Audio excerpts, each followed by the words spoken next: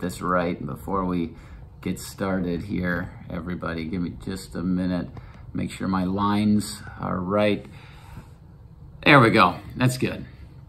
Well, hey everyone, welcome back to another midweek moment. You know, every week I do that before I share a, a word with you. I, I make sure that my camera angles are correct. And, and this is who I am. I, I have this perfectionistic tendency. And maybe some of you can relate to me in that. I, I want to get things right. Uh, but recently I was introduced to a phrase that helped to describe this for me. Maybe you've heard the, the acronym FOMO, fear of missing out. Well, I was listening to a podcast and the person being interviewed talked about FOMU, which is a fear of messing up. And ever since I've come across that phrase, I've realized that's me.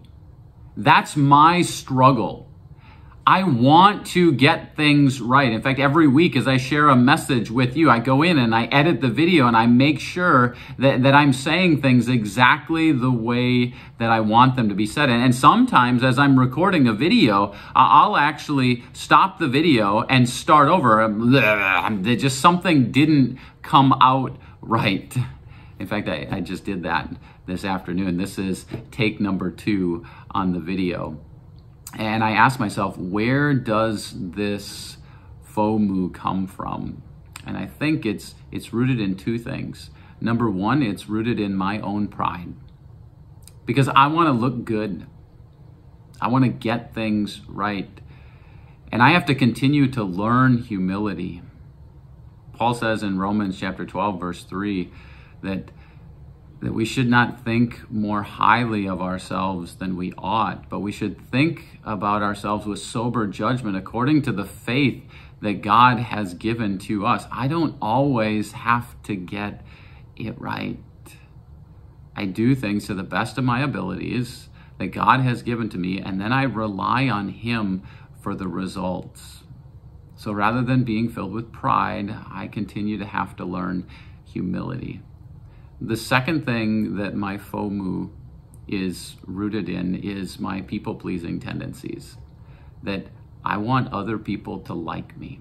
I want to look good in the sight of others around me. When in reality, God's word reminds us that it's primarily about our relationship with Jesus.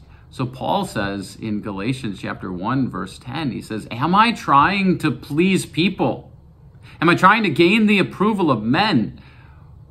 Or am I trying to please God? Because if I'm trying to please people, then I am no longer a servant of God. And a servant simply does what God asks them to.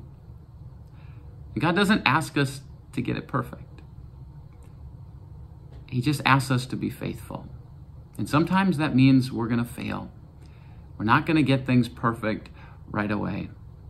So I just want to encourage you this week, especially for those of you who are perfectionists, for those of you who struggle with FOMU like me, to give up your pride, to give up your people pleasing tendencies, and just to listen to God. If He tells you to do something, just do it and trust Him with the results.